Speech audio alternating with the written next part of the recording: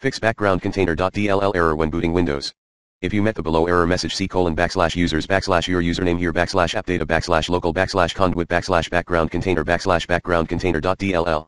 The specified module could not be found. Read on and try the outlined solutions below. Solution 1. Make the best of Task Scheduler. Open Control Panel. Open Administrative Tools. Open Task Scheduler. Alternatively, press the Windows key and the R key, then type tasks.msc. Click on Task Scheduler Library. Scroll through the list until you find Background Container. Right-click on the entry. Click on Delete on the menu that pops up. Refer to the below screenshot. Close all windows, reboot your computer. For power users, try auto runs at https colon slash slash goo.gl slash 5f1qpt. Direct download, instead. Create a new folder on your hard drive. You can name that folder as auto runs, c colon backslash auto runs, and extract, unzip, the downloaded file there. Open the folder and double-click on autoruns.exe. To launch it.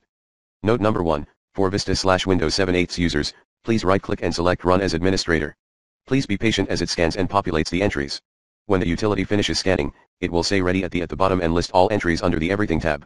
In the top menu, click File Find.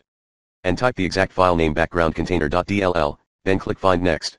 Alternatively, you can scroll through the list and look for any entry related to Conduit. Note number 2, Conduit is related to a stubborn browser hijacker. And we highly suggest running the recommended Avast Internet Security in this video guide, so that you can clean out potential PUP, S, even threats in your system. Additionally, please be kindly advised that Windows Defender is usually pre-installed on Windows 7, which is an anti-spyware program only and it is frequently disabled to prevent conflicts when other real-time security programs such as Average, McAfee, Norton, and alike are installed. Therefore, you really need a full-service anti-malware program instead of Windows Defender. If found, right-click on the entry and choose Delete. Exit auto runs and reboot your computer when done. If problem remains after scanning, take those entries out of startup via msconfig. For Windows 10 users, you just need to disable the startup entry related to background container.dll from Task Manager. To do that, right-click on Taskbar Task Manager details check out the Startup tab carefully. Solution 2,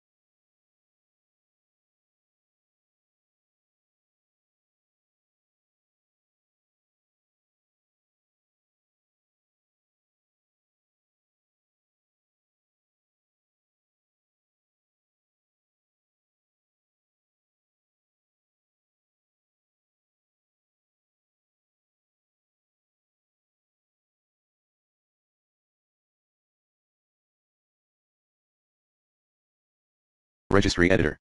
Warning, please do backup or export current registry settings before you make any changes to Registry Editor. Start regedit.exe and search, F3 or Ctrl plus F, for background container.dll and delete all entries you find. Tip, please do not miss out on the below setting at hkcu backslash software backslash Microsoft backslash Windows backslash current version backslash run. Other voice, make the